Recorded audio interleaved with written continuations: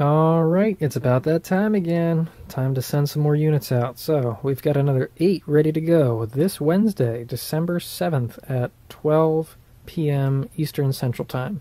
It's the same time as last time. So, we've got 8 kits ready to go, and I've been working pretty hard getting a, a lot more of them put together, but I've actually run out of parts. Now, uh, I just want to clarify real quick that these are still in beta, okay? This is still a beta, and they might not be 100% perfect. You know, you might have issues, it might not work at all. I don't like saying that because I really want them to work, but sometimes you might have issues. Uh, one of the guys from the first batch said that he was getting some on screen errors, uh, so I'm trying to look into that now. I didn't get any other issues from anyone else, so, you know, so I guess one board out of the bunch isn't too bad, and, you know, I'll happily, you know, uh, send him a new one if he if he returns the old one and stuff like that if we can't get it worked out. So I will help you guys. You know, I'm not going to leave you in the dirt if the unit doesn't work, but just remember this is a work in progress and they're not going to be perfect. So you know, have a little patience. I've been working hard, but uh, there's still these things always surprise me with bugs. But just just be aware of that. You know, they're, they're not the easiest to update, and they might give you problems. But if they do work, they're freaking sweet. So we'll hope for the best, but prepare for the worst. The eBay link is uh, scheduled for a specific time, so the link will not go live until noon, or if you're in a different part of the world, whatever time that comes out to. But if you click on it beforehand, it won't load. It'll just give you an error and say that the link like didn't work or something. So make sure that you click it after it goes live. If you click it before, you're not going to get anything. So I'll show you what it looks like. And so uh, make sure that you follow my Facebook page or the Instagram because that's where all the information is going to be, and this is where you're going to find out about stuff first. So the link will always be up here on the uh, the pinned post. So if we click this right now, if I click it since I'm logged in, it'll show me the site. So if I take this link and um, open it up in a browser I'm not signed into, we're going to get this. So this is the error code that you're going to get that it's been removed or it's not available. If you see this, you clicked it too early. So you're going to have to reload the page until the link goes live. I'm, I'm hoping that the that was the issue and not that the link itself was having issues because I know a couple people couldn't get on and I really want you guys to be able to get these things. So there'll there'll be plenty of chances to get these, but again, just make sure you click it when it's live. Uh, more exciting stuff. We are going to be shipping international this time. Yeah, baby, you heard me right. All you guys that have been waiting, waiting patiently since you know the very beginning of this, it's finally your turn. Um, now again, these are probably going to sell out pretty quickly, but when I get all the parts and put them together, I'm sure you guys will get uh, you'll, you'll, get a chance to get them. Uh, shipping is going to be I'm, I'm going to charge uh, the actual shipping cost for international. That could be anywhere from twenty to thirty-five dollars, depending on where you live. I'm going through uh, the United States Postal Service, so uh, you know that'll just be charged. So just remember, it, it'll be more than seventy-five. So if you guys are interested, it could be you know, 85 to 100 bucks even uh, to ship internationally. But I, you know, I wanted to at least give you guys some support. So that'll be exciting. Then the next um, time, the next sale will probably be bigger, so you might have a better chance. Also, if you guys want different days or different times for one of these guys to go live, let me know. I'm just kind of doing whatever. Yeah, I've been pumping out these things nonstop. This printer has been a champ. I've been running this thing like, you know, almost 24 7. Every time uh, a part's done, I put a new one in and get that thing ready to go. It's it's been running so long that I actually ran out of plastic, so I ordered a lot more plastic. And I've been busy putting these all together. It's, these guys take forever to put together. so I gotta wait for more adapters to come. Um, so they should be here in a couple weeks. Uh, I ran out of plastic, so I gotta wait for more plastic to come. That should be here by the end of the week and uh, I ran out of screens, and they should be here by the end of the week too. So once these final couple shipments come in, I should have enough parts to finish all the boards, so I can finish all 44 of these guys, and uh, hopefully get them shipped out to you. So it's a lot of parts and a lot of stuff I've been keeping organized, but we are you know, looking good so far. Not too many issues. So uh, yeah, that should be exciting. But uh, for now, we got eight of these. So I've been working very hard putting all these guys together. it takes a lot of time. Okay, so there's that. So now I've got a couple questions for you guys um, as for the future uh, kits and stuff like that. So, number one, is anyone interested in positive screens? Now, what, what I mean by that is, if you guys have watched from the beginning, I originally got what was called a positive screen. So if you'll notice, it's gray instead of black. So if we plug this guy in,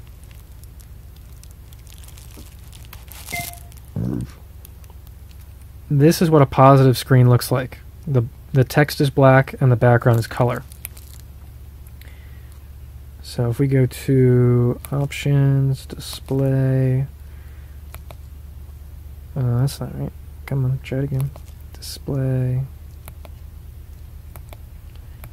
So that's what the positive version looks like.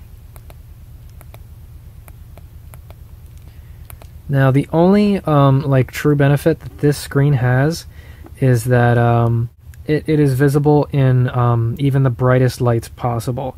The the text is what actually reflects or technically I guess blocks the sunlight or whatever, but you can read this in you know in the middle of the sun if you wanted to. With the negatives, sometimes they start to fade away and the text becomes clear, so it's a little harder to read in really bright sunlight. But you know, when it's inside the car and stuff like that, it's not really noticeable.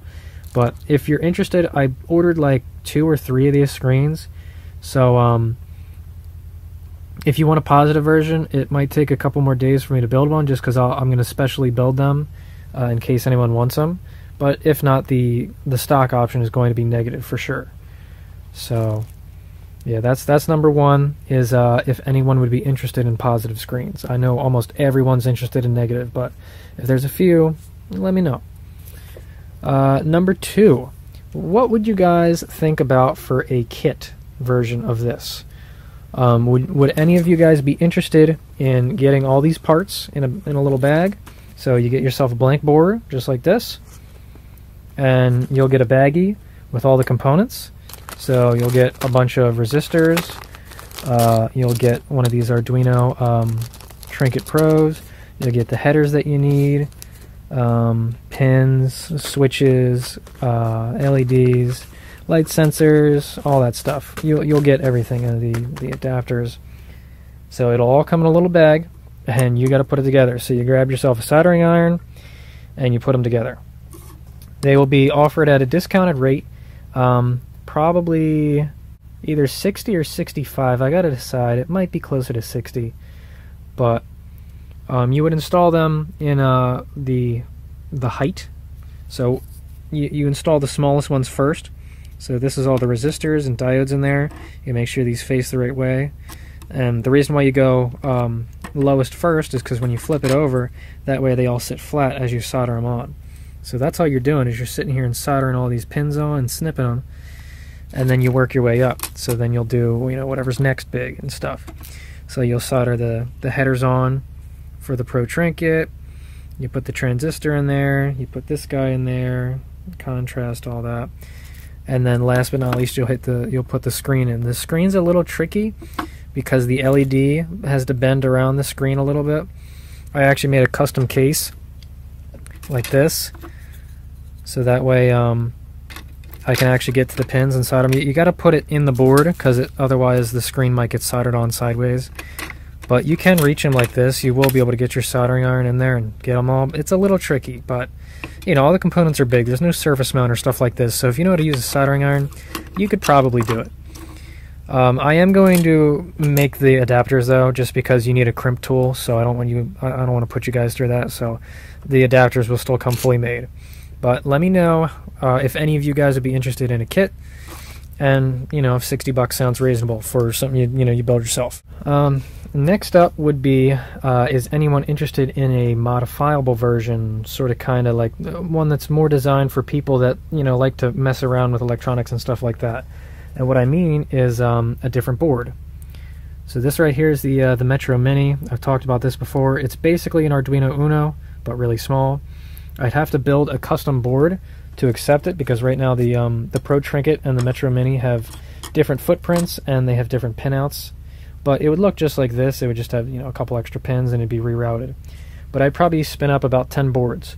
Uh, the fancy thing about these is they have serial out. And what that means is uh, the data on the vehicle could get sent to the computer and stuff. You, you could other send you could send other things to the computer and things like that. So if you wanted to do something like data logging, where you wanted to save the data onto a computer and look at it later, or you know other other stuff like that you just want to transmit the data and see it on a computer screen instead you could do that with this. The other nice thing is these are really easy to update. The pro trinkets are a pain to update. They need you know drivers and software and board um, presets and you got to make sure you're within the 8 second bootloader time with this there's none of that crap you plug this in and it's always ready to accept code you can upload it through the arduino uno and i'll show you what i mean by that in the Arduino software, when you have to install these, you have to go through tools, you have to set it to Pro Trinket, which you have to download and install this. You're going to go and change the programmer to USB Tiny, and then you upload it. Well, if we use the, the other board, the Metro Mini, you can literally just use the Uno and the standard programmer and you just set your port and it just uploads and you're set. So you can just click upload and it just it goes to town and it does all the stuff you need. Real easy real simple. You might have to install a driver the uh, ftdi driver and that's it. So these are also a lot easier to update. Um, the only reason i didn't include these on all the boards is because they're five bucks more and that doesn't sound like much but again it would bring the price up to at least $80 a unit and that's a whole lot more that i have to buy off the bat but they are really cool. So if anyone would be interested in a version like that, if you like playing around with stuff, this also has more pins. There's more stuff broken out. So it's just it, again, there's more things to do if you want to code and you know read stuff and do stuff. This would be what you would want. So let me know if anyone's interested in uh, any of those either. Okay, so uh, I'll be running a trade-in program. So if I ever build versions, you know, like like things that have more uh, features and stuff like that, and you guys want to get a newer version, I'll accept the old version if it still works. So you send it back, but you pay shipping, and uh, I'll give you a heavily discounted price on the newer model. So that way, you know, for you know maybe 20, 25 bucks or something like that, you could upgrade to the latest model if you wanted. That goes for alpha users and you know anything in the future, stuff like that. So there's that. Um, as for future plans, there's a couple more things I still want to tackle. Eventually, I'm going to get to you 2.5 liter guys, um, but there's different hardware involved, and that's why there's been such a big holdup. I have to do a lot of testing and figure out why the 2.5 liters are different. They have different pins on the diagnostic port, and uh, they just use all kinds of weird stuff. So, yeah, that's a bit of a pain. Um, second up, I want to figure out the automatic trans, the AW4. I would love, love, love, love, love to get the um, communication on this device. You could read the trans as well exciting thing about that is you can see gears and clutch um, lock up and brake. But the big one is uh, output RPM, which you could convert to speed if you wanted. And if you can find out the vehicle's speed, I might be able to do fuel economy. And that is a huge goal of mine. I know it's stupid for Jeeps, but man, would I love to see how much fuel that thing is slurping at any given time. The transmission outputs data pretty slow, and I'd have to do some really creative coding to get them both to read at the same time, but it might be possible. But you know, that's that's kind of a long-term goal for the future. And uh, as for later later years, like the 1991 and newer Chryslers, I don't know. You guys are pretty far back in the list. Uh, this project on its own has just been very time consuming, so I don't know if I'll ever be able to get to that. But hey, this might make a good platform if you want to try to make your own. Talk to me. We might be able to figure some stuff out. A couple people have been interested in tuning and stuff like that. So you know, maybe I'll figure out how to do um, piggyback sensors to maybe do your own tuning at some point. But again, that's you know, lots of time and effort, and we'll see if we ever get there. If we do, but uh, another idea that came to mind at one point was, what would you guys think of um, having a unit that replaces the uh, the dash clock? You know, to the right of the gauge cluster. I think that would be interesting. I have to, you know, find a fake one or you know just get one out of a junkyard to play around with for sizes but I could probably 3D print, you know, a completely replaceable thing. And the screen looks like it should fit in that opening. So if we could do something like that, where you have the, the screen in there and then maybe have the buttons on the bottom or the top. Uh, I mentioned to one person and they said maybe uh, have the buttons remotely um, active somewhere where it comes off a wire and you could mount it somewhere else. And that's also possible. I just have to make another circuit board or figure out something for that, but it's not completely impossible. But um, yeah, that would be another future long-term goal, maybe some experimentation. But that would be a pretty cool factory-looking option. So let me know what you think of that. Yeah, alright, I guess that's all for now. I'm going to shut up. So, Wednesday, get one if you want. They're going to sell out quick. Thanks for the support.